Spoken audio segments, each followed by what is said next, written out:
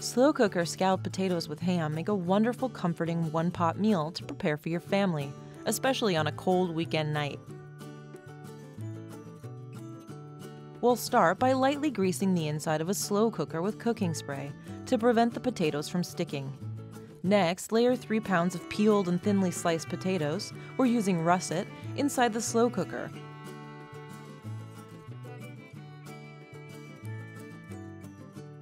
Together with 1 cup of shredded cheddar cheese, a half cup of chopped yellow onion, and 1 cup of chopped cooked ham.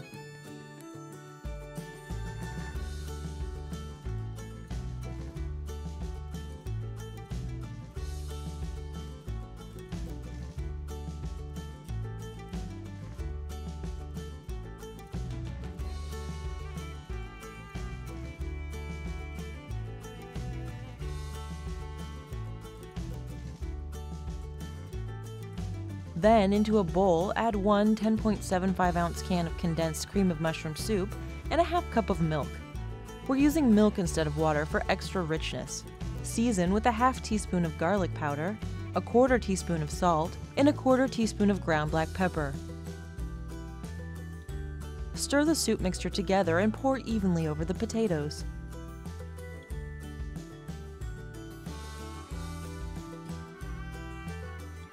Then cover the slow cooker and set on high for 4 hours.